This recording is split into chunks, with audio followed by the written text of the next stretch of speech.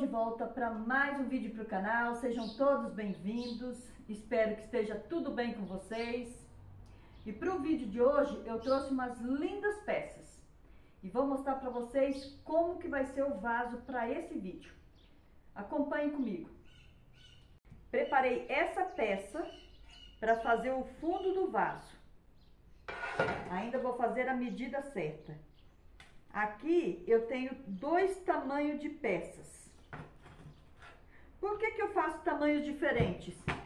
Porque às vezes eu não consigo tirar todas as, as peças do mesmo tamanho. Ou porque as pontas estão muito quebradas, ou porque só tenho três peças. Então eu tento aproveitar o máximo possível das peças. Mas vai ficar um vaso bonito dessa forma também. Tamanhos diferentes Aí a gente vai intercalando uma peça maior que, com uma menor, para poder dar o esquadro, ok? Mas vai ficar um tamanho bom também. Essas peças, elas estão todas com 35 centímetros. Essa aqui ficou com 29, essa com 25. Aqui embaixo 19 e aqui embaixo 17. Então, não é tanta diferença de tamanho. Vou sobrepor aqui para vocês verem que não é tanta diferença. Vai ficar um vaso lindo também.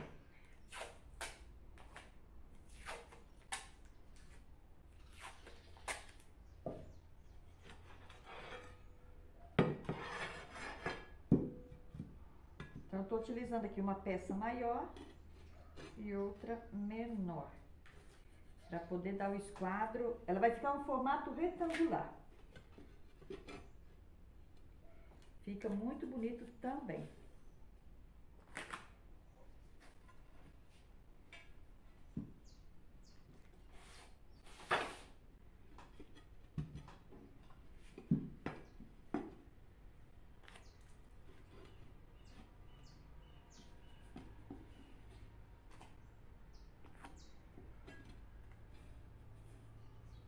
Fechando aqui a última parte.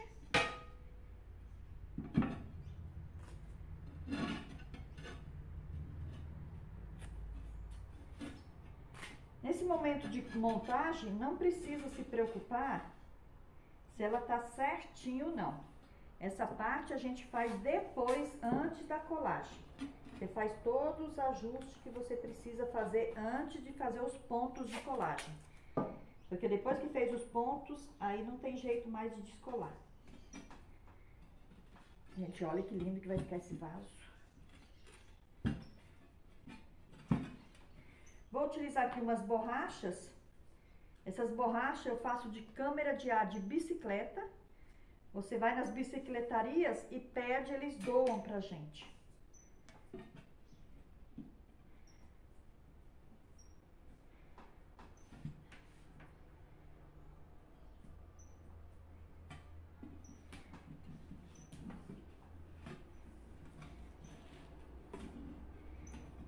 Essas borrachas elas vão ressecando também com o calor. Então é importante estar renovando, de vez em quando fazer borrachas novas.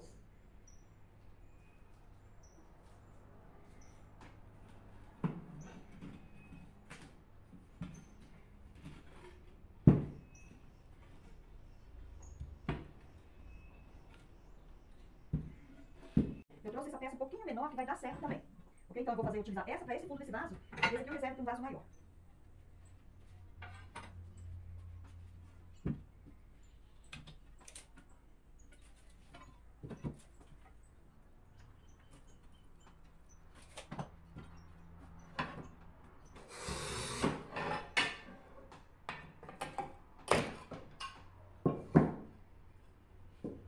Fundo preparado, Agora é só desvirar esse vaso, colocar esse fundo e já começar a fazer os pontos de colagem.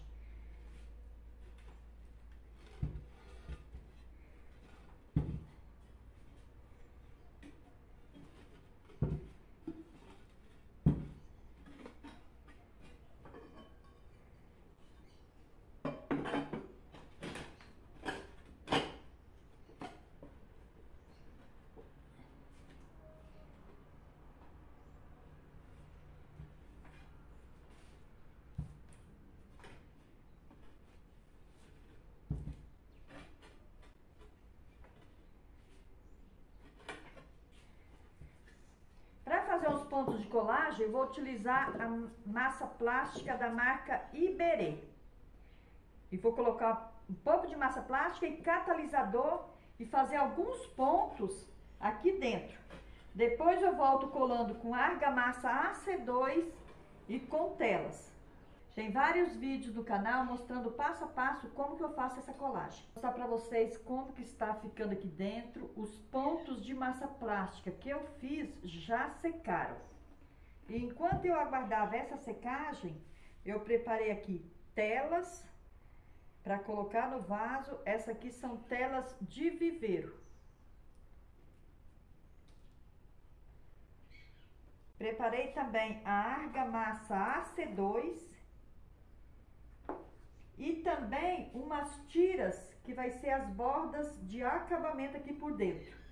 Então, eu vou colocar essas tiras aqui por dentro, fazendo assim um acabamento mais bonito. E é isso que eu vou fazer agora. Aplicar essa massa aqui dentro com as telas, fazendo a colagem definitiva.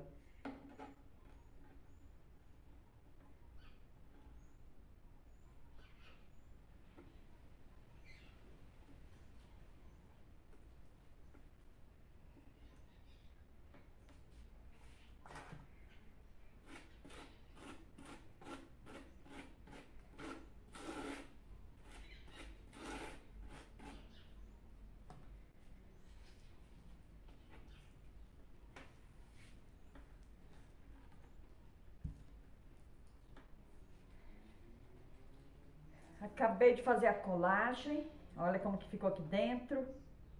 Agora esse vaso vai ficar secando de um a dois dias. Depois eu retorno para fazer o acabamento nele.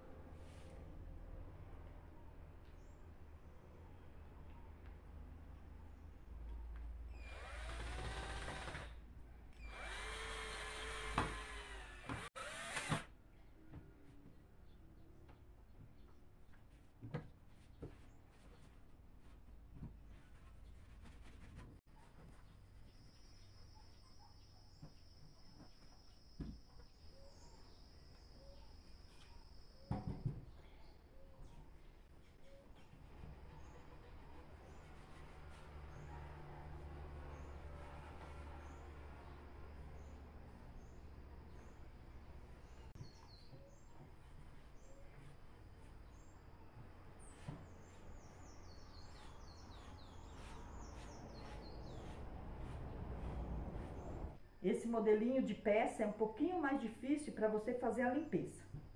Feita essa limpeza, agora eu vou fazer a impermeabilização aqui por dentro.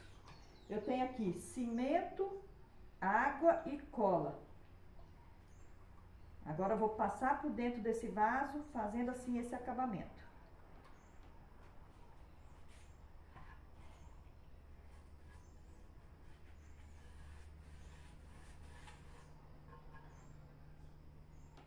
Agora sim, acabei de fazer a impermeabilização aqui por dentro. Fiz a limpeza e coloquei os pezinhos. Gente, olha como que ficou esse vaso. Fica assim concluído mais um trabalho. Se gostou, não esqueça de deixar seu like para fortalecer o canal. No mais é isso, um abraço a todos vocês e a gente se encontra no próximo vídeo. Deus abençoe a cada um.